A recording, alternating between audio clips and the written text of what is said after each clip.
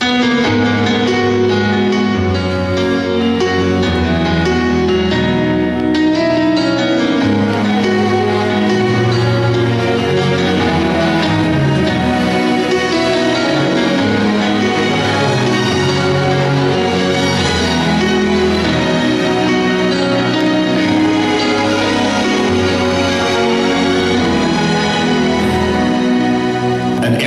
airplane has hit the World Trade Center, and that's all we know. Today we had a national tragedy.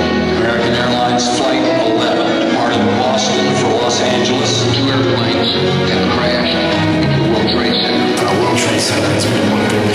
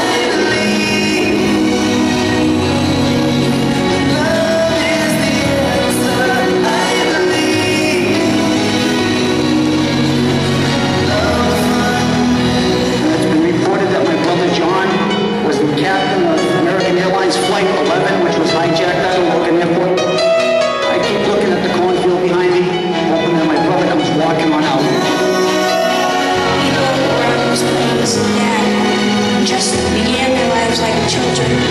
My children are five and eight years old. Everybody's still at work.